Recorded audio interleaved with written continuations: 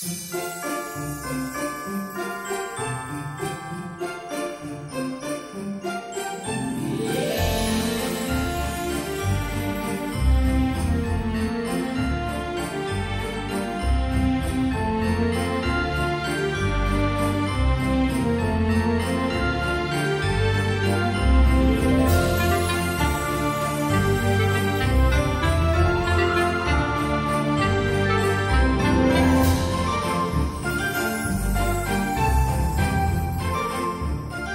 As you gather with loved ones in the days and weeks ahead, I hope you're filled with joy, laughter, and peace, and that you carry that light into the lives of others.